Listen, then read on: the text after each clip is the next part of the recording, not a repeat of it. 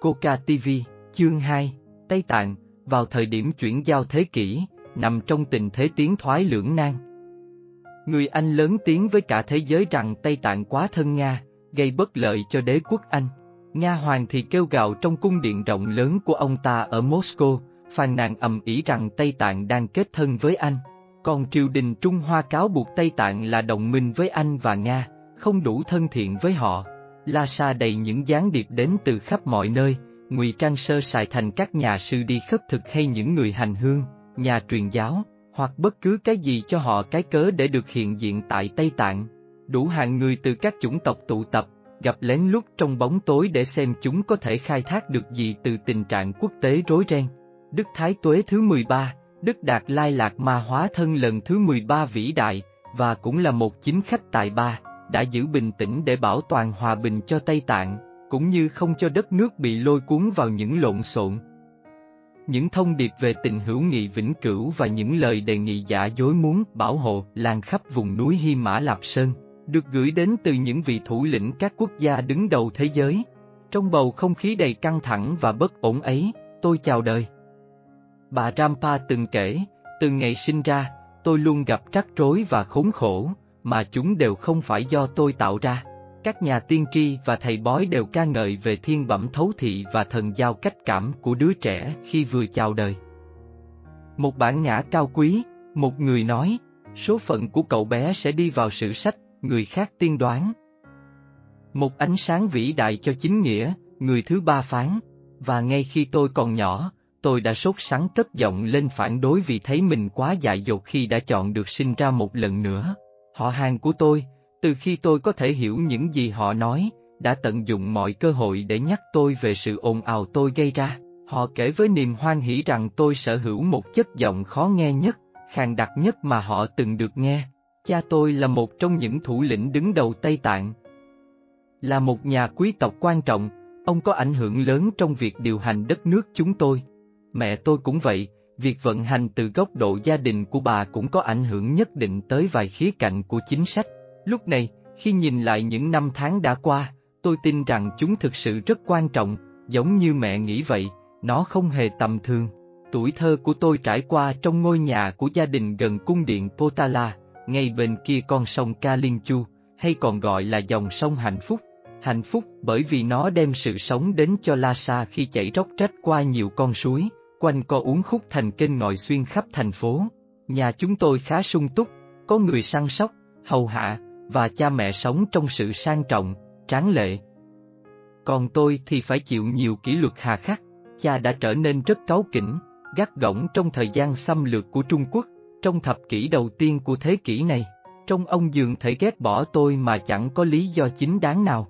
Mẹ, giống như rất nhiều phụ nữ hoạt động xã hội trên toàn thế giới, không có thời gian cho con cái, nhìn chúng như những gánh nặng cần thoát khỏi nhanh nhất có thể và vì vậy đã giao cho đám gia nhân chăm sóc. Anh trai Panjo không sống với chúng tôi được lâu, trước ngày sinh nhật lần thứ bảy, anh đã qua đời để đến thiên đường và bình an. Tôi được 4 tuổi, và sự ghét bỏ của cha đối với tôi dường như càng sâu đậm hơn. Chị gái Yasoda lên 6 tại thời điểm anh trai qua đời, và cả hai chúng tôi đều than vãn, không phải vì bị mất anh, mà vì kỷ luật bắt đầu khắc khe hơn từ lúc anh qua đời. Giờ đây, gia đình tôi đều đã chết dưới tay Cộng sản Trung Quốc. Chị gái tôi bị giết vì chống lại sự sàm sỡ của những kẻ xâm lược. Cha mẹ tôi bị hại vì từng là địa chủ. Ngôi nhà nơi tôi thường nhìn thấy vùng đất có cây cối xum xuê đã được xây dựng thành khu tập thể cho dân lao động nô lệ. Một bên của tòa nhà là nơi những người lao động nữ tá túc, và ở phía bên cánh phải là nam. Tất cả đều đã lập gia đình, nếu người chồng và người vợ cư xử phải phép và hoàn thành đủ việc, họ có thể gặp nhau một lần một tuần trong vòng nửa tiếng, sau đó họ sẽ bị khám xét thân thể.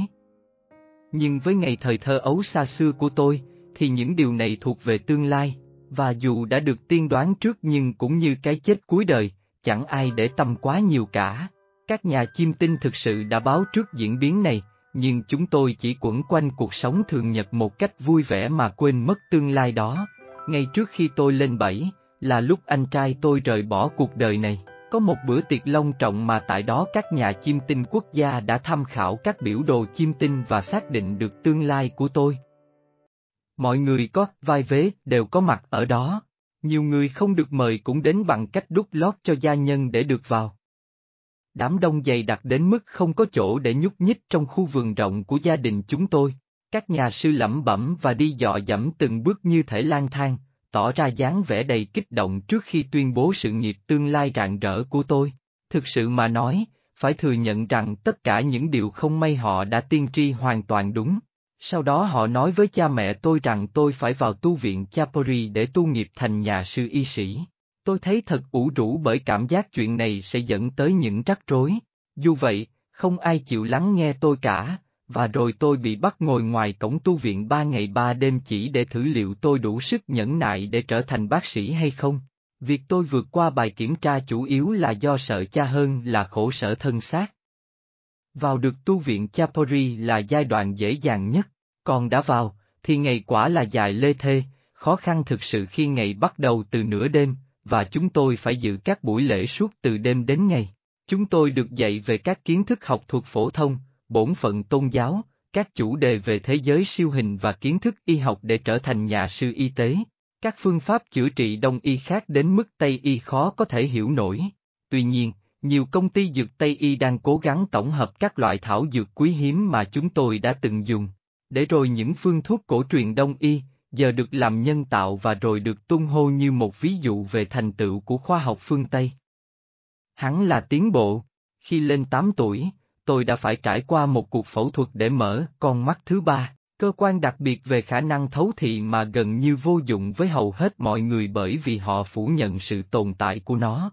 Với khả năng nhìn được bằng con mắt này, tôi có thể nhận biết hào quang của con người và vì thế có thể nhìn thấy tâm tính của những người xung quanh.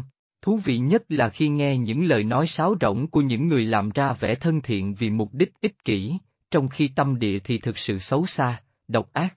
Hào quang có thể cho biết lịch sử bệnh tật của một người. Bằng cách xác định những gì bị thiếu trong hào quang, và thay thế những khiếm khuyết bằng những liệu pháp bức xạ năng lượng đặc biệt, con người có thể được chữa khỏi bệnh tật. Vì có khả năng thấu thị mạnh hơn bình thường, nên tôi thường xuyên được Đức Thái Tuế, hóa thân lần thứ 13 của Đức Đạt Lai Lạc Ma, gọi vào để nhìn hào quang của những người đến thăm ngài trong tình hữu nghị. Vì thầy hướng dẫn yêu quý của tôi, Lạc Ma Minh Gia Đại Đức, một người có khả năng thấu thị tại ba, đã dạy tôi rất tốt. Người cũng dạy tôi những phép huyền bí quan trọng nhất về du hành thể vía, mà bây giờ với tôi còn dễ hơn đi bộ. Hầu hết mọi người, bất kể họ thuộc tôn giáo nào, đều tin vào sự tồn tại của linh hồn hay thể khác. Trên thực tế, con người có một số thể hay vỏ bọc, mà con số chính xác chúng ta không không cần bận tâm vào lúc này. Chúng tôi tin, hay đúng hơn là chúng tôi biết, rằng khi để lại thể xác, cái thể mà có thể mặc quần áo vào, sang một bên, ta có thể du hành đi bất cứ nơi đâu, kể cả ngoài trái đất, trong thể vía. Mọi người đều du hành thể vía rồi, kể cả những kẻ nghĩ rằng đó là vớ vẩn. Nó tự nhiên như thở vậy, hầu hết mọi người đều làm điều đó khi đang ngủ và vì vậy, nếu không được huấn luyện, họ sẽ không nhớ gì về điều này. Biết bao nhiêu người sáng dậy kêu lên, ồ, đêm qua tôi đã có một giấc mơ thật tuyệt vời, tôi dường như đã ở với người này và người kia. Chúng tôi rất hạnh phúc bên nhau và cô ấy nói cô ấy sẽ viết thư cho tôi. Tất nhiên bây giờ tất cả mọi thứ chỉ còn rất mơ hồ thôi. Và sau đó, thường là sau vài ngày, một lá thư đến. Để giải thích cho chuyện này, một trong số họ đã du hành thể vía đến một nơi khác, và bởi họ không được chỉ dẫn nên sự việc ấy đã trở thành một giấc mơ. Hầu hết mọi người đều du hành thể vía. Có bao nhiêu người xác thực rằng những người sắp chết đến thăm người họ yêu quý trong giấc mơ để nói lời tạm biệt. Người sắp lìa đời có mối ràng buộc với thế giới khá mỏng manh nên họ dễ dàng đến thăm một người bạn khi qua đời. Người đã được huấn luyện có thể nằm nghỉ ngơi và thoải mái cởi bỏ những mối ràng buộc với bản ngã hoặc linh hồn, có thể gọi theo cách nào tùy bạn, chúng đều là một. Rồi khi mối ràng buộc duy nhất còn lại là sợi chỉ bạc, thể thứ hai là thể vía, có thể trôi đi, giống như một quả bóng bị giữ ở một đầu dây. Nếu được huấn luyện, bất cứ nơi đâu bạn nghĩ đến, bạn có thể bay đến đó một cách tỉnh táo và có ý thức. Trạng thái mơ là khi một người du hành bằng thể vía mà không biết, và trở về với một ấn tượng bối rối, lộn xộn. Khi không được chỉ dẫn, sẽ có vô số những ấn tượng nhận được liên tục qua sợi chỉ bạc, làm giấc mơ càng ngày càng xáo trộn. Trong thể vía, bạn có thể đi bất cứ nơi đâu, thậm chí vượt ra ngoài ranh giới trái đất, vì thể vía không thở, cũng không ăn. Tất cả những gì nó cần được cung cấp bởi sợi chỉ bạc, mà khi còn sống, kết nối liên tục với thân xác.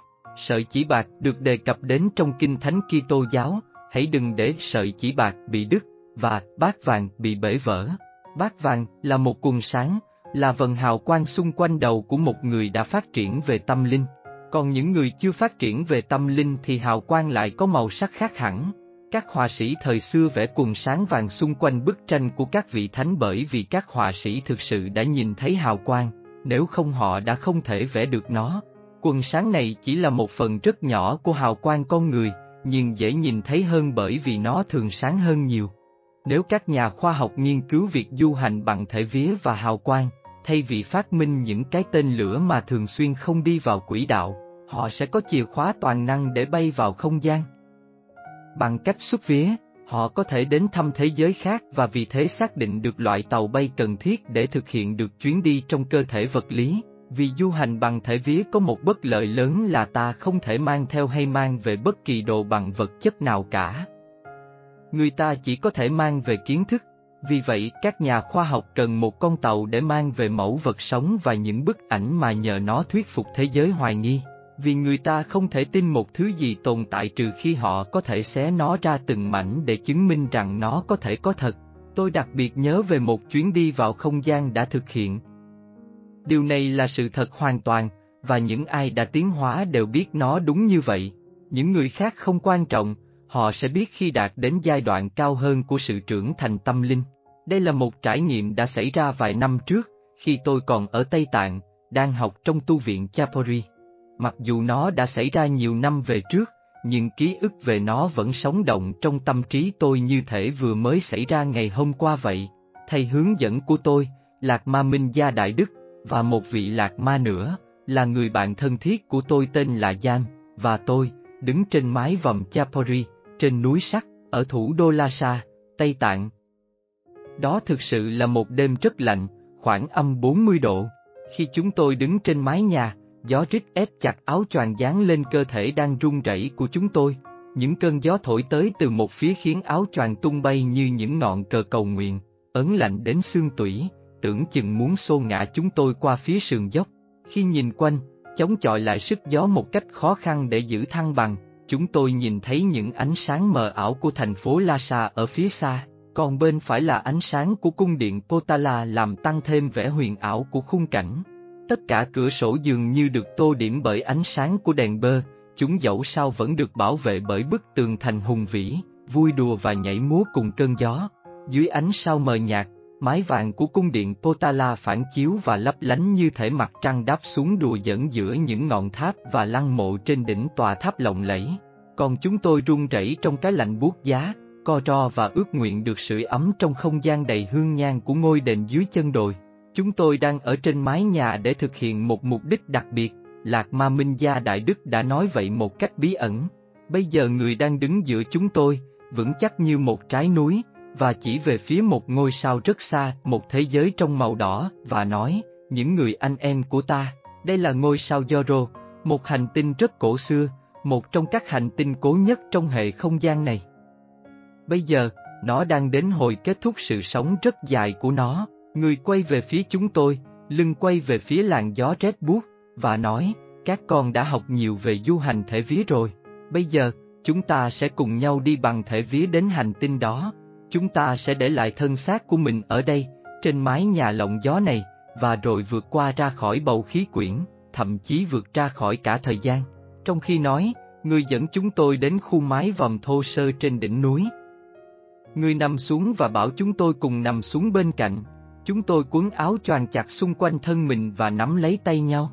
Trên cao là vòng trời thiên đàng tím sẫm, lốm đốm những tia sáng mờ nhạt, pha chút màu sắc, bởi tất cả hành tinh có màu ánh sáng đặc biệt khác nhau khi được quan sát trong màn đêm trong suốt ở Tây Tạng. Làn gió trích xung quanh chúng tôi, nhưng sự đào tạo của chúng tôi đã luôn rất khắc khổ, và chúng tôi chẳng nghĩ đến gì khác ngoài việc cố ngồi bám lại trên mái vòng đó. Chúng tôi biết rằng đây không phải là một cuộc du hành thông thường bằng thể vía, Vì chúng tôi không thường xuyên để lại thân xác của mình bị phơi bày trong thời tiết khắc nghiệt. Khi thân xác không được thoải mái, thể vía có thể đi xa hơn và nhanh hơn, và nhớ được chi tiết hơn. Chỉ trong những chuyến du hành ngắn qua các hành tinh, chúng tôi mới để cơ thể thư giãn và thoải mái. Thầy hướng dẫn của tôi nói, giờ chúng ta hãy nắm chặt tay nhau, và cùng nhau vượt ra ngoài trái đất này. Hãy theo thầy và chúng ta sẽ đi một chuyến xa, và có những trải nghiệm đặc biệt đêm nay. Chúng tôi nằm xuống và thở theo một nhịp nhất định để xuất vía. Tôi nghe thấy tiếng gió gầm gừ qua dây cờ cầu nguyện quật phần Phật phía trên. Rồi đột nhiên, một cú co giật khiến tôi không còn cảm nhận thấy sự tê buốt của cơn gió nữa. Tôi thấy mình đang phất phơ như thể đang ở một thời khắc khác, bên trên thân xác của mình, và tất cả đều thật bình an. Lạc Ma Minh Gia Đại Đức đã đang đứng thẳng trong thể vía rồi, và sau đó, khi nhìn xuống tôi thấy người bạn giam của mình cũng đang rời khỏi thân xác của anh. Anh và tôi đứng lên, rồi cùng kết nối với Lạc Ma Minh Gia Đại Đức. Kết nối này, được gọi là kết nối tâm linh, được tạo ra từ thể vía bằng tư tưởng. Nó là chất liệu mà những người đồng cốt trình diễn những hiện hình tâm linh. Việc kết nối đã hoàn tất, chúng tôi bay vút lên bầu trời đêm, tôi, luôn luôn tò mò, đã nhìn xuống. Đang phất phơ bên dưới chúng tôi là những sợi chỉ bạc, những sợi chỉ dài vô tận kết nối thể xác với thể vía trong suốt cuộc đời. Chúng tôi không ngừng bay lên, lên mãi, trái đất lùi xa.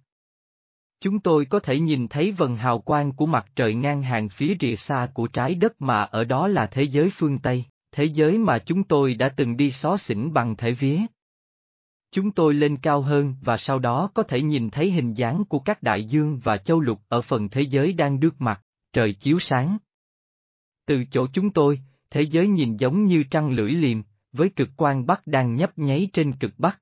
Chúng tôi tiếp tục đi ngày càng nhanh hơn, cho đến khi vượt cả tốc độ ánh sáng vì chúng tôi là linh hồn đã lìa khỏi thân xác, bay vút về phía trước, hầu như ngang với tốc độ của ý nghĩ. Khi nhìn về phía trước, tôi nhìn thấy một hành tinh khổng lồ, vẻ hăm dọa và đỏ rực, thẳng ngay trước mặt. Chúng tôi rơi thẳng về phía nó với tốc độ không thể tính được. Mặc dù tôi đã có nhiều kinh nghiệm du hành bằng thể vía, tôi vẫn cảm thấy lo lắng. Qua thần giao cách cảm, thể vía của Lạc Ma Minh Gia tủm tỉm cười và nói, Ồ, Lốc Sang, nếu chúng ta có đâm vào hành tinh đó cũng sẽ không làm cả chúng và ta đau. Ta hãy đi xuyên qua nó, sẽ không có gì ngăn cản cả. Cuối cùng, chúng tôi thấy mình đang bay phất phơ trên một thế giới hoang vắng màu đỏ, đá đỏ, cát đỏ trong vùng biển đỏ không thủy triều. Khi đáp xuống bề mặt thế giới này, chúng tôi nhìn thấy những sinh vật lạ giống những con cua khổng lồ đang di chuyển lờ phờ dọc theo mép nước. Chúng tôi đứng phía trên bờ đá màu đỏ ấy và nhìn xuống nước, không thủy triều, chết chóc, với lớp ván màu đỏ trên đó, bốc mùi hôi thối. Như chúng tôi quan sát thấy, mặt nước đục miễn cưỡng gợn sóng lăn tăng, và gợn lần nữa, rồi một sinh vật lạ không có ở trái đất nổi lên, nó cũng màu đỏ với lớp vỏ vệ nặng nề, các khớp khác thường. Nó rên rỉ có vẻ mệt mỏi và chán nản, vươn tới bờ cát đỏ, rồi lăn phịch xuống đất. Phía trên đầu chúng tôi, mặt trời đỏ rực buồn tẻ kinh khủng, những vệt màu đỏ máu, khắc nghiệt và sặc sỡ. Khắp xung quanh, không có lấy một hoạt động nào, không hề có dấu hiệu sự sống nào khác ngoài những sinh vật lạ nằm hấp hối trên mặt đất. Mặc dù đang ở trong thể vía, tôi vẫn không khỏi rùng mình lo âu nhìn xung quanh. Biển đỏ mà trên đó nổi lên những ván đỏ, đá đỏ, những đám tro tàn chết chóc màu đỏ của ngọn lửa, ngọn lửa mong manh không còn gì. Lạc Ma Minh Gia Đại Đức nói, đây là một thế giới đang hấp hối. Nó không còn quỹ đạo quay nữa, thế giới này trôi nổi vô định trong biển không gian, vệ tinh của một mặt trời đang hấp hối, nó sẽ sớm sụp đổ, và rồi sẽ trở thành một ngôi sao lùn không có sự sống, không có ánh sáng, ngôi sao lùn cuối cùng sẽ va vào một ngôi sao khác, và từ đó một thế giới khác sẽ được sinh ra. Ta đưa các con tới đây bởi vì kể cả trong thế giới này cũng có sự sống cấp cao, sự sống tồn tại ở đây vì mục đích nghiên cứu và điều tra các hiện tượng có thể tìm được ở nơi này. Hãy nhìn xung quanh các con mà xem, người quay lại và chỉ về phía xa, và chúng tôi nhìn thấy ba tòa tháp rộng lớn vươn lên trên bầu trời màu đỏ, và trên đỉnh cao của các tòa tháp này là ba quả cầu tinh thể lấp lánh sáng bóng và rung rinh ánh sáng vàng, trông thật sống động. Chúng tôi đứng đó kinh ngạc, một trong các ánh sáng thay đổi, một khối cầu trở thành màu xanh ánh kim sống động. Lạc Ma Minh Gia Đại Đức nói, hãy đến đó, họ đang nói lời chào mừng với chúng ta. Chúng ta hãy xuống nơi họ ở trong một căn phòng dưới lòng đất, chúng tôi cùng nhau di chuyển về phía chân tháp, và sau đó, khi đã đứng bên dưới, chúng tôi nhìn thấy một lối vào được bảo vệ bằng những kim loại lạ nặng nề lấp lánh và nổi bật, giống như một vết sẹo trên vùng đất đỏ căng cỗi. Chúng tôi di chuyển qua nó, vì kim loại, hoặc đá, hoặc bất cứ chất liệu nào khác cũng không ngăn cản được những người trong thể vía. Chúng tôi di chuyển qua và đi dọc theo những hành lang màu đỏ của đá đã chết cho đến khi cuối cùng chúng tôi đứng trong một căn phòng rất lớn. Căn phòng được bao quanh bởi những biểu đồ và bản đồ, những máy móc và dụng cụ lạ lùng. Ở giữa căn phòng có một cái bàn dài, mà ở đó có chín bô lão đang ngồi bên, trông họ không giống nhau. Một cụ người cao và gầy, đầu nhọn, đầu hình nón, còn mấy người khác thì thấp và trông rất trắng rõi. Họ rất khác nhau. Rõ ràng là mỗi người đến từ một hành tinh, từ một giống dân khác nhau. Con người ư, có lẽ sinh vật có hình dạng giống người thì đúng hơn. Tất cả họ đều là người, nhưng một số dáng vẻ giống con người hơn những kẻ khác. Chúng tôi nhận thấy cả chín người đang chăm chú nhìn về phía mình. À, một cụ già nói bằng thần giao cách cảm, chúng ta có khách từ xa đến. Chúng tôi đã nhìn thấy các bạn hạ xuống đây, trạm nghiên cứu của chúng tôi, và chúng tôi chào đón các bạn. Thưa ngài tôn kính, Lạc Ma Minh Gia Đại Đức nói, tôi đưa đến với các ngài hai học trò mới được tấn phong Lạc Ma, và họ là những học trò nghiêm túc nhất trong việc học hỏi tri thức, thành thật chào đón các bạn, cụ già cao lớn, có vẻ là người đứng đầu của nhóm, nói, chúng tôi sẽ làm mọi điều để giúp đỡ các bạn như chúng tôi đã giúp những người khác trước đây. Đây thực sự là điều mới mẻ với tôi bởi tôi không biết rằng thầy hướng dẫn của tôi đã du hành thể vía rộng khắp như vậy trên thiên hà. Cụ già người thấp nhìn tôi và mỉm cười. Cụ nói bằng ngôn ngữ phổ biến trong thần giao cách cảm, tôi thấy rằng, anh bạn trẻ, bạn đang tò mò về vẻ ngoài khác nhau của chúng tôi, thưa ngài tôn kính, tôi đáp, lòng đầy kính nể vì họ hiểu được suy nghĩ của tôi một cách dễ dàng dù tôi đã cố hết sức che giấu. Đó là sự thật, con ngạc nhiên trước sự khác biệt về kích thước và hình dáng của các ngài, và con chợt nảy ra ý nghĩ là có thể không phải tất cả các ngài đều là người đến từ trái đất, bạn nhận biết rất chính xác, cụ già nói. Tất cả chúng tôi đều là con người, nhưng do môi trường, chúng tôi đã thay đổi hình dạng và tầm vóc của mình phần nào, nhưng có thể bạn không nhận thấy điều tương tự trên hành tinh của mình sao, ở đó, trên vùng đất Tây Tạng có một số nhà sư mà các bạn sử dụng như những người canh gác có chiều cao trên 7 phút. Tuy nhiên, ở nước khác trong thế giới của các bạn, có những người chỉ bằng một nửa chiều cao đó, và các bạn gọi họ là người lùn mê. Cả hai loại đó đều là con người, họ có thể sinh sản với nhau, mặc dù khác biệt về kích thước, vì tất cả chúng ta đều là con người có cấu tạo phân tử carbon. Ở đây trong thế giới đặc biệt này, mọi thứ đều phụ thuộc vào các phân tử cơ bản gồm carbon và hydro, vì cả hai loại phân tử này là những viên gạch tạo thành cấu trúc thiên hà của các bạn. Chúng tôi, những người di chuyển trong những thiên hà khác, rất xa bên ngoài nhánh tinh vân đặc biệt này của các bạn, biết rằng các thiên hà khác nhau sử dụng những loại gạch khác nhau. Một số sử dụng silicon, một số sử dụng thạch cao, một số sử dụng những phân tử khác, nhưng họ khác với con người của thiên hà này, và chúng tôi thấy buồn là tư tưởng của chúng tôi không phải luôn giống với họ. Lạc Ma Minh Gia Đại Đức nói, tôi đưa hai vị lạc ma trẻ tới đây để họ có thể thấy các giai đoạn chết và phân rã của một hành tinh đã bị cạn kiệt không khí, và ở đó khí oxy trong không khí đã kết hợp với kim loại và rồi đốt cháy chúng và làm cho mọi thứ trở thành tro tàn. Điều đó đúng như vậy, cụ già cao lớn nói. Chúng tôi muốn chỉ ra cho những người bạn trẻ này rằng mọi thứ được sinh ra đều phải chết đi. Mọi vật sống trong khoảng thời gian phân bổ cho nó, và thời gian được phân bổ là số lượng đơn vị của sự sống. Một đơn vị sự sống trong bất cứ một sinh vật đang tồn tại nào cũng là một nhịp tim của sinh vật đó. Sự sống của một hành tinh là 2 tỷ 700 triệu nhịp đập, sau đó hành tinh sẽ chết, nhưng từ cái chết của hành tinh này, những hành tinh khác được sinh ra. Con người, cũng vậy, sống trong 2 tỷ 700 triệu nhịp đập, và đó là khoảng đời khiêm tốn nhất. Một con côn trùng, sống trong 24 giờ, trong suốt thời gian đó có 2 tỷ 700 triệu nhịp đập. Một hành tinh, tất nhiên là rất khác, mỗi nhịp đập của nó có thể tới 27,0005, và tiếp đó sẽ có một cơn chấn động trên thế giới khiến nó lắc mình chuyển sang nhịp đập tiếp theo.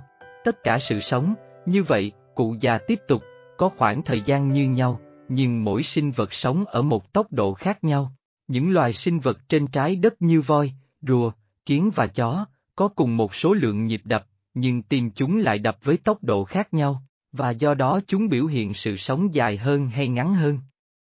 Jan và tôi nhận thấy điều này vô cùng thú vị, và điều đó giải thích rất nhiều cho chúng tôi để hiểu biết về vùng đất Tây Tạng quê hương mình. Chúng tôi đã nghe về rùa ở trong cung điện Potala đã sống rất nhiều năm, và về loài côn trùng chỉ sống trong một đêm về mùa hè. Bây giờ chúng tôi có thể thấy rằng khả năng hiểu biết của chúng hẳn phải được đẩy nhanh lên để bắt kịp với tốc độ nhịp tim đập. Cụ già người thấp nhìn chúng tôi có vẻ đồng tình và nói, vâng, không chỉ có vậy, mà nhiều loài động vật đại điện cho những chức năng khác nhau của cơ thể. Con bò chẳng hạn, như bất cứ ai cũng có thể thấy, chỉ đơn thuần là một tuyến vú sống, con hươu cao cổ là một cái cổ, một con chó phải rồi, ai cũng biết điều mà một con chó luôn nghĩ đến là đánh hơi gió để có tin tức vì tầm nhìn của nó quá nghèo nàn và do đó một con chó có thể xem như là một cái mũi. Những loài vật khác có sự giống nhau về cấu trúc tương tự với các bộ phận khác nhau về giải phẫu học. Loài thú ăn kiến của Nam Mỹ có thể được coi như một cái lưỡi. Chúng tôi nói chuyện bằng thần giao cách cảm một lúc, học được nhiều điều mới lạ với tốc độ ý nghĩ khi trong thể vía. Rồi cuối cùng, Lạc Ma Minh Gia đứng lên và nói đã đến lúc phải đi. Khi trở về, bên dưới chúng tôi là mái vàng cung điện Potala ánh lên trong ánh sáng mặt trời phủ đầy sương giá. Cơ thể của chúng tôi đã cứng lại, nặng nề và khó cử động bởi các khớp bị đông cứng. Và như vậy, chúng tôi nghĩ, khi vụng về đứng dậy, một kinh nghiệm nữa, một chuyến đi nữa đã kết thúc. Tiếp theo sẽ là gì đây? Cuối cùng, tôi được đánh giá là đã sẵn sàng để tham gia nghi lễ chết lâm sàng, mà tôi đã viết về nó trong cuốn sách Con mắt thứ ba. Theo nghi lễ đặc biệt, tôi được đặt vào trạng thái chết lâm sàng, rất sâu bên dưới cung điện Potala, và du hành về quá khứ theo thư viện vũ trụ Akashic. Tôi đã tới nhiều nơi trên trái đất. Nhưng hãy để tôi viết về nó như đã cảm nhận được lúc ấy. Hành lang trong động đá phủ rêu, sâu hàng trăm feet bên dưới vùng đất băng giá nhấp nháp khó chịu và tối đen như trong nhà mồ. Tôi di chuyển dọc theo chiều dài trôi dạt như khói trong bóng tối của nó, và bóng tối ngày càng trở nên đậm đặc hơn. Thoạt đầu tôi nhận thấy mờ mờ các hiện tượng lân quan màu lục nhạt của thực vật đã rửa nát bám trên các vách đá. Đôi khi ở những nơi lớp thực vật dày nhất và ánh sáng rực rỡ nhất, tôi có thể bắt gặp những tia sáng màu vàng chói của mạch vàng chạy dọc theo chiều dài của đường hầm trong đá này. Tôi trôi đi trong tĩnh lặng, mất ý thức về thời gian, không suy nghĩ về bất cứ điều gì ngoài việc phải đi xa hơn và sâu hơn vào trong lòng trái đất, vì đây là một ngày rất quan trọng với tôi, ngày tôi đang trở về sau ba ngày du hành thể vía. Thời gian trôi qua và tôi nhận thấy mình ngày càng đi xuống sâu hơn, vào trong căn phòng bí mật trong bóng tối càng ngày càng tối, đen kịt hơn, bóng tối như thể phát ra âm thanh, tạo nên rung động. Trong trí tưởng tượng của mình, tôi có thể hình dung về thế giới trên kia, thế giới mà tôi đang trở về. Tôi có thể hình dung cảnh tượng quen thuộc giờ đang bị che phủ trong bóng tối. Tôi chờ đợi, lơ lửng trong không trung giống như một đám khói hương trầm trong một ngôi đền. Dần dần, phải mất một thời gian tôi mới có thể nhận biết được nó, một âm thanh dội xuống hành lang, âm thanh mơ hồ nhất, nhưng dần dần to dần lên và tăng thêm nữa. Tiếng cầu kinh, âm thanh của tiếng chuông bạc, và tiếng những bước chân đi dậy da, sặc, sặc, lờ mờ. Cuối cùng, một thời gian dài trôi qua, một ánh sáng chập chờn kỳ quái xuất hiện lấp lánh dọc theo bức tường hầm. Âm thanh lúc này trở nên lớn hơn. Tôi bình thản chờ đợi phía trên phiến đá trong đêm tối.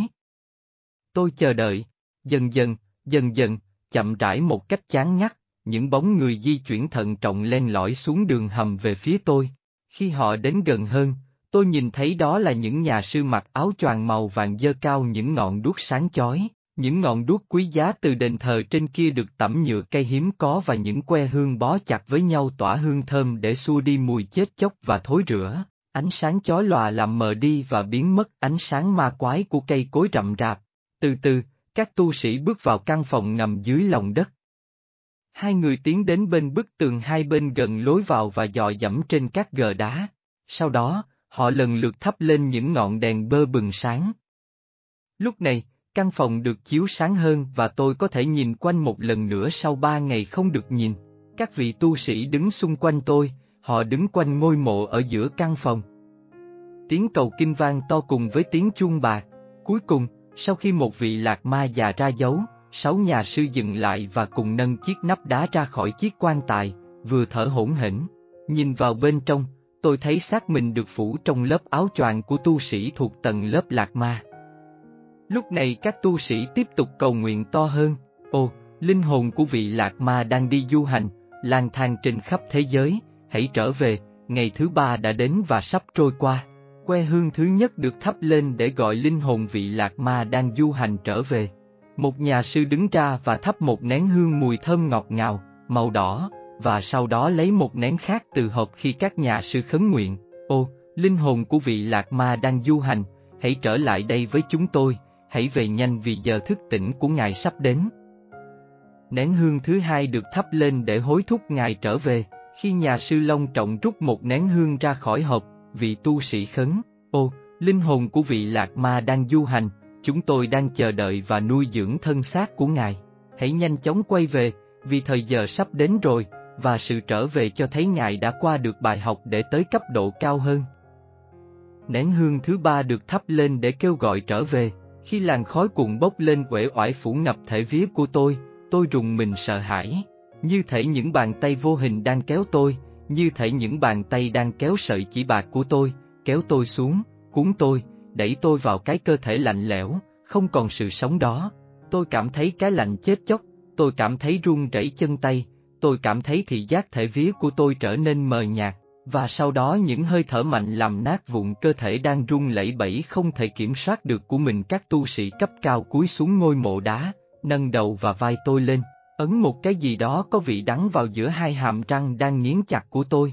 À, tôi nghĩ, lại trở về giam cầm trong cơ thể một lần nữa, lại bị giam cầm trong cơ thể, dường như lửa đang chảy qua huyết quản tôi, tĩnh mạch vốn đã không hoạt động trong ba ngày. Cuối cùng, các tu sĩ đưa tôi ra khỏi ngôi mộ, đỡ tôi, nâng tôi lên và giữ cho tôi đứng, dẫn tôi đi quanh căn phòng đá, quỳ trước tôi, phủ phục dưới chân tôi, đọc thần chú, nói những lời cầu nguyện, và thắp những nén hương. Họ cho tôi ăn, tắm, rồi lau khô, và thay áo choàng cho tôi, ý thức đang trở về với cơ thể, vì lý do lạ lùng nào đó, trí nhớ từ ba ngày trước đây khi sự kiện tương tự xảy ra quay trở lại, rồi tôi được đặt xuống trong chính cổ quan tài đá này. Từng người một, các vị lạc ma nhìn tôi. Sau đó họ đặt cái nắp lên trên cổ quan tài đá và dập tắt các que hương. Họ trang nghiêm đi lên hành lang đá, mang đèn đuốc theo, trong khi tôi nằm hơi sợ trong quan tài đá đó, sợ hãi bất chấp tất cả những gì đã được học, sợ mặc dù biết về những điều sẽ xảy ra. Tôi đã ở rất lâu trong bóng tối, trong sự im lặng chết chóc. Im lặng ư? Không, vì nhận thức của tôi đã được huấn luyện, và sắc bén đến mức tôi có thể nghe được tiếng thở của họ, âm thanh của sự sống đang giảm dần khi họ đi khỏi. Tôi có thể nghe thấy bước chân của họ ngày càng mờ nhạt, và sau đó là bóng tối, sự yên lặng, tĩnh mịch, và hư vô. Cái chết không thể tồi tệ hơn thế này, tôi nghĩ.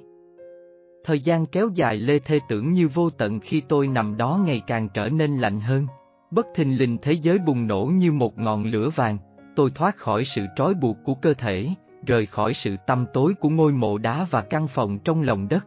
Tôi thoát ra khỏi lòng đất lạnh băng, và đi vào không khí trong lành xe lạnh, vượt xa trên dãy Himalaya cao chót vót, tới khắp các vùng đất và đại dương, tới nơi xa xôi tận cùng của trái đất với tốc độ của ý nghĩ. Tôi lang thang một mình, trên thinh không, như bóng ma trong thể vía, nhằm tìm ra những nơi thích hợp, những cung điện trên trái đất, tiếp thu bài học bằng cách quan sát những người khác. Ngay cả những hầm mộ bí mật cũng không che giấu được tôi, vì tôi có thể lang thang tự do bằng ý nghĩ để đi vào phòng hội đồng của thế giới. Lãnh đạo của tất cả các vùng đất lướt qua tôi trong bức tranh toàn cảnh liên tục, những ý nghĩ của họ phơi bày trước con mắt thăm dò của tôi. Và bây giờ, tôi nghĩ, khi chóng mặt tôi liền được các vị lạc ma đưa tay đỡ, bây giờ tôi phải báo cáo tất cả những gì tôi đã nhìn thấy, tất cả những gì tôi đã trải nghiệm, rồi sao? Có lẽ tôi sớm sẽ lại phải trải qua kinh nghiệm tương tự. Sau đó, tôi sẽ phải đi vào thế giới phương Tây, phải chịu đựng những khó khăn đã được tiên tri. Sau quá trình đào tạo lâu dài, và cũng rất khó khăn, tôi bắt đầu rời khỏi Tây Tạng để tiếp tục học tập, và nhiều khó khăn hơn nữa.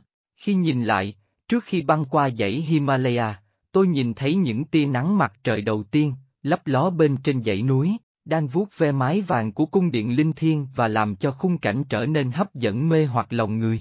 Thung lũng La Sa dường như vẫn còn đang trong giấc nồng, và thậm chí những lá cờ cầu nguyện cũng gà gật mơ màng trên đầu cột cờ.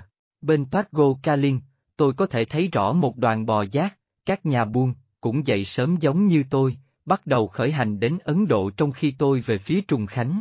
Vượt qua dãy núi, chúng tôi đi theo con đường mòn mà các thương gia mang trà vào Tây Tạng, những viên gạch trà từ Trung Quốc. Trà cùng với bánh tơ sampa là một trong các loại lương thực chính của người Tây Tạng. Năm 1927, đó là khi tôi rời khỏi Lhasa, và đi đến Chotan, một thị trấn nhỏ bên bờ sông Brahmaputra. Trên đường đi can tiên, xuống dưới vùng đồng bằng, qua những khu rừng tươi tốt, những thung lũng với thảm thực vật ẩm ướt, trên đường đi chúng tôi thở rất khổ sở, bởi vì tất cả đoàn chúng tôi đều quen với việc thở trong không khí ở độ cao 15,000 feet, thậm chí còn cao hơn thế nữa. Vùng đồng bằng, với bầu không khí nặng nề, đang đè nén làm tinh thần chúng tôi chán nản, nó ép chặt phổi làm chúng tôi cảm thấy như đang bị chết đuối trong không khí.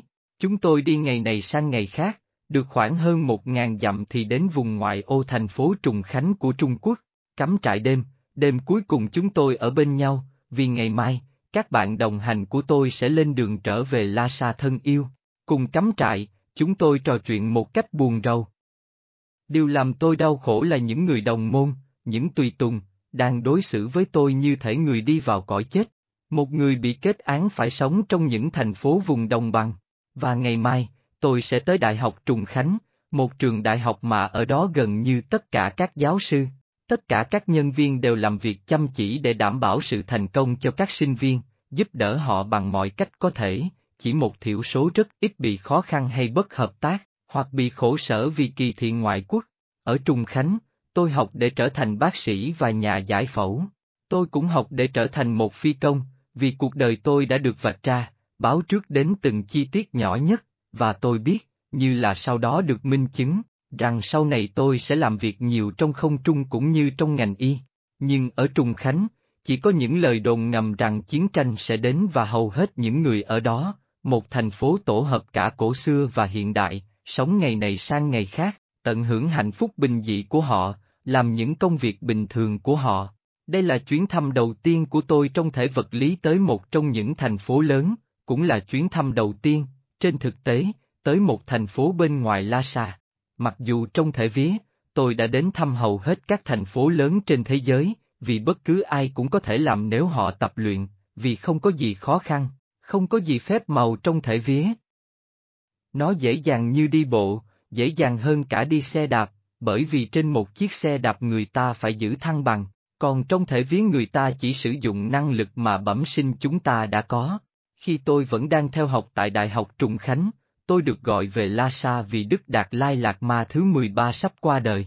Tôi trở về và tham gia vào các buổi lễ trong tang lễ của Ngài, và sau khi xử lý xong vài công việc tại Lhasa, tôi lại trở về Trùng Khánh. Tại một buổi nói chuyện sau đó với vị sư trưởng tối cao, Tê Ai Su, tôi đã bị thuyết phục nhận một nhiệm vụ trong lực lượng không quân Trung Quốc, và đi đến Thượng Hải. Một nơi tôi phải đến, mặc dù tôi biết nơi đó chẳng có gì hấp dẫn mình cả. Vì vậy, một lần nữa, tôi bị buộc phải rời chỗ ở để đến một ngôi nhà khác. Ở đó, vào ngày 7 tháng 7 năm 1937, người Nhật đã dàn cảnh sự cố tại cầu Lư Câu. Đây là điểm khởi đầu thực sự của cuộc chiến Trung Quốc-Nhật Bản, và nó làm cho mọi việc thực sự rất khó khăn cho chúng tôi. Tôi phải rời khỏi phòng mạch đang sinh lợi rất tốt của mình để đến làm việc tại Hội đồng thành phố Thượng Hải trong một thời gian, nhưng sau đó tôi đã dành hết thời gian của mình cho chuyến bay cứu thương của quân đội Trung Quốc. Tôi và những người khác bay đến những nơi cần phẫu thuật khẩn cấp, chúng tôi bay trên chiếc máy bay cũ đã được xem là hết tác dụng với mọi chức năng, như là chiến đấu, nhưng đủ tốt để chở người cứu thương. Tôi đã bị quân Nhật bắt, sau khi bị bắn rơi, và chúng đối xử với tôi rất thô bạo. Tôi không giống một người Trung Quốc, Chúng thực sự không biết tôi như thế nào, và cũng vì bộ đồng phục của tôi, vì cấp bậc của tôi, mà chúng đã đối xử rất tệ đối với tôi. Tôi đã trốn thoát được và trở về với quân đội Trung Quốc với hy vọng tiếp tục công việc của mình. Đầu tiên, tôi được chuyển về Trùng Khánh để thay đổi hoàn cảnh trước khi trở lại nhiệm vụ. Trùng Khánh lúc này khác với Trùng Khánh mà tôi đã biết trước đó, có nhiều tòa nhà mới, hay đúng hơn là những tòa nhà cũ có mặt tiền mới vì đã bị trúng bom. Nơi đó rất đông đúc, và tất cả các loại doanh nghiệp đến từ các thành phố lớn của Trung Quốc lúc này đang dồn về Trùng Khánh với hy vọng thoát khỏi sự tàn phá của chiến tranh, đang hoành hành ở những nơi khác. Sau khi hồi phục phần nào, tôi được điều động xuống miền Duyên Hải theo lệnh của tướng Io. Tôi được chỉ định làm nhân viên y tế phụ trách bệnh viện, nhưng bệnh viện chỉ đơn thuần là nơi thu gom người bị thương trên cánh đồng lúa ngập nước. Chẳng bao lâu sau, lính Nhật đến và bắt giữ chúng tôi, giết tất cả những bệnh nhân không thể đứng lên và đi được. Tôi lại bị bắt và bị đổi xử rất thầm tệ bởi lính Nhật nhận ra tôi là người đã trốn thoát khỏi trại giam của chúng trước đó, và chúng thực sự không ưa những người đã trốn trại. Sau một thời gian, tôi bị đưa đến làm nhân viên y tế ở một trại giam dành cho phụ nữ đến từ các nước khác nhau. Tại đó, do chuyên ngành đào tạo của tôi là thảo dược, nên tôi có thể sử dụng tốt nhất nguồn cây cỏ thiên nhiên của trại giam để giúp cho các bệnh nhân không còn thuốc chữa. Lính Nhật nghĩ rằng tôi đã làm quá nhiều cho các tù nhân và không để họ chết, vì vậy chúng đã chuyển tôi đến một trại giam ở Nhật Bản. Trại giam mà chúng nói là dành cho những kẻ khủng bố. Tôi bị dồn vào trong một con tàu rò nước để đi ngang qua biển sang Nhật, chúng tôi thực sự đã bị đối xử một cách tàn tệ. Tôi đã bị tra tấn rất dã man, và những đòn tra tấn liên tục của chúng khiến tôi bị viêm phổi. Chúng không muốn tôi chết và vì vậy chúng đã chăm sóc tôi, theo cách của chúng, và điều trị cho tôi. Khi tôi đang hồi phục nhưng không để chúng biết thì mặt đất trung chuyển. Tôi đã nghĩ đó là động đất, nhưng rồi qua cửa sổ, tôi thấy lính Nhật đang chạy trốn và toàn bộ bầu trời chuyển sang màu đỏ, như thể mặt trời đã bị che khuất. Dù rằng tôi đã không biết gì về nó, đây là vụ ném bom nguyên tử ở Hiroshima ngày ném quả bom đầu tiên, 6 tháng 10 năm 1945. Người Nhật không có thời gian dành cho tôi, họ cần toàn bộ thời gian để chăm sóc bản thân, tôi nghĩ vậy nên tôi cố lấy một bộ đồng phục, mũ và một đôi xăng đang nặng. Rồi tôi lão đảo đi ra ngoài qua ô cửa hẹp không có lính gác, cố gắng đi xuống bờ biển, nơi đó tôi thấy một chiếc thuyền đánh cá. Rõ ràng là chủ nhân của nó đã bỏ trốn khi quả bom rơi xuống vì không thấy ông ta đâu cả. Con thuyền dập dềnh một cách biến nhát nơi neo đậu, dưới đáy thuyền có một vài mẫu cá đã bị ôi, bắt đầu bốc mùi. Một cái can vứt gần đó vẫn còn nước, có thể uống được, nhưng cũng chỉ có vậy. Tôi cố gắng cắt sợi dây mỏng manh đang neo thuyền và bỏ trốn. Gió thổi căng những cánh buồn rách bươm khi tôi đã cố kéo lên một giờ sau đó, và con thuyền hướng mũi ra biển đi đến nơi nào không biết. Nỗ lực đó là quá nhiều với tôi, và tôi sụp ngay xuống đáy thuyền, bất tỉnh. Một thời gian dài sau đó, bao lâu không biết, chỉ có thể đánh giá thời gian qua tình trạng phân hủy của cá, tôi tỉnh dậy trong ánh sáng mờ ảo của bình minh. Con thuyền tiếp tục trôi, những con sóng nhỏ đập vào mạn thuyền. Tôi quá yếu vì bệnh viêm phổi, và vì vậy tôi chỉ nằm, vai và phần thân dưới ngập trong nước muối, cùng với toàn bộ rác thải xung quanh. Rồi mặt trời lên chói lòa, tôi cảm thấy não trong đầu sôi lên, như thể mắt đang bị đốt cháy. Tôi cảm thấy như các đầu ngón tay đang sưng to hơn cả cánh tay, nó khô rác và đau đớn. Môi và má tôi nứt nẻ, nỗi đau đớn quá sức chịu đựng, phổi như nổ tung ra một lần nữa, và tôi biết rằng bệnh viêm phổi một lần nữa lại tấn công hai lá phổi của mình.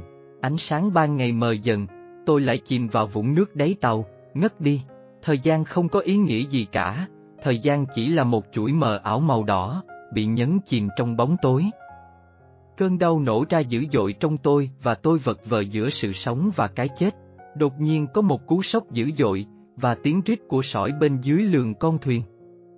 Cột buồn lắc lư như thể nó sẽ gãy gục, cánh buồn trác bươm vẫy điên cuồng trong gió mạnh. Tôi trượt về phía trước đáy thuyền, bất tỉnh trong vũng nước xoáy và hôi thối. Này, Hằng, có một người châu Á nằm dưới đáy xuyền, trông như chết rồi. Giọng mũi khuấy động ý thức chập chờn của tôi, tôi nằm đó, không thể cử động, không thể ra hiệu là tôi vẫn còn sống. Có chuyện gì vậy? Xác chết à? Chúng ta muốn cái thuyền, đúng không? Hãy giúp tôi một tay và chúng ta quăng nó ra ngoài. Những bước đi nặng nề làm rung chuyển con thuyền, và suýt dẫm lên đầu tôi. Ôi trời ơi, giọng người ban đầu nói, tên tội nghiệp này chắc chắn bị thương rất nặng vì bị phơi ngoài trời. Anh ta vẫn còn thở, hăng, anh nghĩ thế nào, Ê, ngừng than vãn đi. Anh ta sắp chết rồi. Quăng anh ta ra. Chúng ta không có thời gian để lãng phí đâu, những bàn tay rắn chắc và mạnh mẽ túm lấy đầu và chân tôi. Tôi bị vung lên một lần, hai lần, sau đó bị quăng đi, bay ra khỏi con thuyền rồi rớt xuống, kêu tiếng trầm thấu xương lên bãi biển đầy cát sỏi. Không buồn liếc nhìn trở lại, hai người đàn ông ráng sức kéo con thuyền bị mắc cạn, vừa lẩm bẩm chửi rủa, họ dốc sức, ném sang bên những viên đá lớn nhỏ. Cuối cùng, con thuyền cũng thoát ra và lạo xạo trượt xuống nước. Trong lúc hoảng hốt, vì lý do nào đó mà tôi không biết, hai người đàn ông đã cuốn cuồng tranh nhau lên thuyền và bỏ đi theo một loạt những đường chạy ngoằn ngoèo vụng về. Mặt trời vẫn đang rực sáng. Những sinh vật nhỏ trong các cắn tôi, và tôi chịu đựng sự tra tấn giống những kẻ đã chết. Dần dần, ngày cũng qua đi, cho đến khi cuối cùng, mặt trời lặn, màu đỏ máu vẽ hăm dọa. Nước vỗ bập bềnh vào chân tôi, dần đến đầu gối của tôi. Rồi cao hơn nữa, với nỗ lực kỳ lạ, tôi trường lên một vài phiết, thuộc sâu khuỷu tay vào trong cát, quằn quại, vật lộn. Và lại rơi vào hư vô. Nhiều giờ sau đó, hoặc cũng có thể là vài ngày trôi qua, tôi tỉnh dậy, nhận thấy ánh sáng mặt trời đang tỏa sáng bên trên. Run rẩy, tôi quay đầu và nhìn xung quanh, xung quanh hoàn toàn xa lạ. Tôi đang ở trong một ngôi nhà tranh chỉ có một phòng nhỏ, với biển sáng lấp lánh phía xa. Khi quay đầu lại, tôi nhìn thấy một vị tu sĩ Phật giáo già đang nhìn tôi. Ông mỉm cười và đi về phía tôi, ngồi xuống sàn nhà bên cạnh tôi. Vì đôi lúc, vị tu sĩ nói, tôi biết rằng mình sẽ có một vị khách có khả năng xuất chúng, người có nhiệm vụ lớn lao trong cuộc sống. Vì vậy dù đã già, tôi vẫn nán lại cho đến khi nhiệm vụ của mình được hoàn thành. Căn phòng rất nghèo nàn, sạch sẽ và vị tu sĩ già rõ ràng là đang rất thiếu ăn. Ông hốc hác và đôi bàn tay run rẩy vì già yếu, cái áo choàng cũ kỹ, bạc màu của ông được vá bằng những đường may khéo léo những chỗ đã sửa chữa vì cũ và hỏng. Chúng tôi thấy anh bị ném ra khỏi thuyền, ông nói. Rất lâu nên chúng tôi nghĩ anh đã chết và chúng tôi không thể đến được bãi biển vì những băng cước. Đêm xuống, hai người trong làng đã ra đó và mang anh về đây cho tôi. Nhưng đó là năm ngày trước, anh thực sự rất ốm yếu. Chúng tôi biết rằng anh sẽ sống để thực hiện một hành trình rất xa và cuộc sống sẽ rất khó khăn, khó khăn. Tại sao tất cả mọi người luôn cho tôi biết rằng cuộc đời sẽ khó khăn? Họ nghĩ tôi thích điều đó hay sao? Chắc chắn nó đã khó khăn rồi, luôn luôn khó khăn, và tôi ghét khó khăn nhiều như bất cứ ai. Đây là Najin, vị tu sĩ tiếp tục. Chúng tôi ở vùng ngoại ô ngay khi có thể, anh sẽ phải rời đi vì cái chết của tôi đang cận kề. Trong hai ngày, tôi di chuyển cẩn thận xung quanh, cố gắng lấy lại sức mạnh của mình, cố gắng phục hồi mạch sống một lần nữa. Tôi yếu, đói, và gần như đến ngưỡng không quan tâm đến việc mình sẽ sống hay chết nữa. Một vài người bạn cũ của vị tu sĩ đến gặp tôi và đề xuất những điều tôi nên làm, và tôi nên đi như thế nào. Vào buổi sáng thứ ba khi tôi thức dậy, tôi nhìn thấy vị tu sĩ đang nằm lạnh cứng bên cạnh tôi. Trong đêm tối, ông đã từ bỏ sự níu kéo của cuộc sống, và đã ra đi. Với sự giúp đỡ của những người bạn cũ của ông, chúng tôi đào một ngôi mộ và chôn ông. Tôi bọc chỗ thức ăn ít ỏi còn lại vào trong một mảnh vải, và với một cây gậy cứng cáp để chống, tôi lên đường. Đi được một dặm hay khoảng đó, tôi đã kiệt sức. Chân tôi rung lên và đầu dường như quay tròn, mắt tôi mờ đi. Mất một lúc, tôi nằm bên vệ đường bờ biển, tránh xa khỏi tầm nhìn của người qua đường, vì tôi được cảnh báo rằng đây thực sự là một vùng nguy hiểm đối với những người lạ.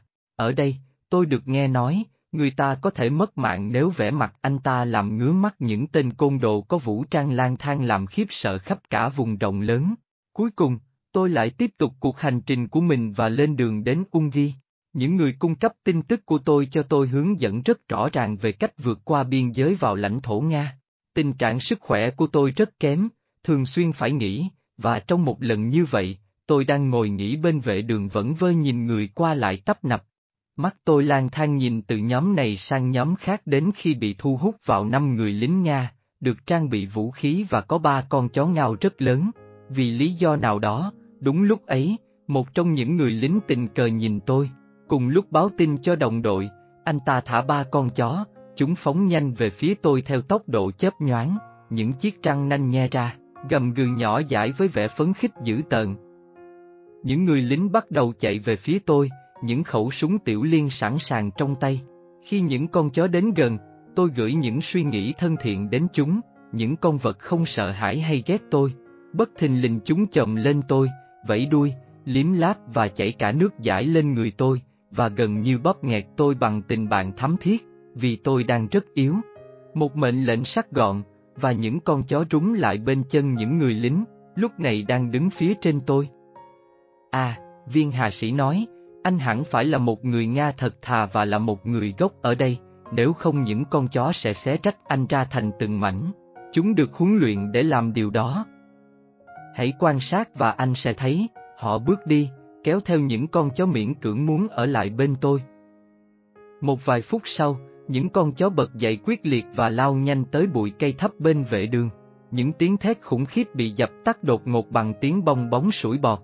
Một tiếng xào xạc phía sau tôi, và khi tôi quay lại, một bàn tay đẫm máu, bị cắn đứt ở cổ tay, đã bị thả dưới chân tôi trong khi con chó đứng đó vẫy đuôi. Đồng chí, viên hạ sĩ nói, trong khi đi lại phía trên tôi, anh thực sự phải rất trung thành thì xét mới như thế. Chúng tôi sẽ đi tới căn cứ tại Krakino, anh đang trên đường đi, vậy có muốn một chuyến đi xa cùng với năm xác chết không? Vâng, thưa đồng chí hạ sĩ, tôi rất biết ơn, tôi trả lời, dẫn đường, với những con chó bước đi bên cạnh tôi đang ngoe ngoẩy đuôi, anh ta đưa tôi đến một chiếc xe bán tải có rơ mộc đi kèm. Từ một góc của rơ mộc, một dòng máu nhỏ đang chảy bắn tung tóe trên mặt đất. Tình cờ liếc nhìn vào đống xác người chất ở đó, anh ta nhìn chăm chú vào một người hấp hối đang vật vã yếu ớt, kéo khẩu súng lục của mình ra, anh ta bắn vào đầu người đó, sau đó lại cho súng vào bao đựng và bỏ đi về đầu xe không một lần nhìn lại. Tôi được cho một chỗ ngồi phía sau của chiếc xe bán tải. Những người lính đang ở trong một tâm trạng tốt, tự hào rằng không có một người nước ngoài nào từng vượt qua biên giới khi họ đang làm nhiệm vụ. Nói với tôi rằng trung đội của họ được trao tặng phần thưởng sao đỏ vì thành tích tốt. Tôi nói với họ rằng, tôi đang đi tới Vladivostok để thăm thành phố vĩ đại này lần đầu tiên, và hy vọng tôi sẽ không gặp khó khăn vì ngôn ngữ. À, viên hạ sĩ cười hô hố. Chúng tôi có một chiếc xe tải chở hàng sẽ đến đó vào ngày mai, để cho những con chó này nghỉ ngơi, bởi vì mỗi khi tiếp xúc với quá nhiều máu người thì chúng trở nên hung dữ đến nỗi chúng tôi không thể giữ kỷ luật chúng được. Anh biết cách để làm việc với chúng, hãy chăm sóc chúng cho chúng tôi và chúng tôi sẽ đưa anh đến Vladi vào ngày mai. Anh đã hiểu chúng tôi, nên anh cũng được mọi người ở khắp nơi trong vùng này hiểu đây không phải là Moscow, vì vậy mà tôi, vốn là người ghét cộng sản, đã trải qua đêm đó như một khách mời của những người lính biên phòng Nga. Tôi được mời rượu, gái và những bài hát, nhưng tôi lấy cớ có tuổi và ốm yếu. Với một bữa ăn đơn giản đầy đủ cho tôi, bữa ăn tốt nhất trong một thời gian rất, rất dài, tôi nằm ngủ trên sàn, và thiếp đi với lương tâm thanh thản. Vào buổi sáng, chúng tôi lên đường đến Vladivostok, viên hạ sĩ, và một lính thường khác, ba con chó và tôi. Và như vậy, thông qua tình bạn thân thiết với những con vật dữ tợn, tôi đã đến được Vladivostok mà không gặp khó khăn gì, không phải đi bộ, và có thức ăn ngon.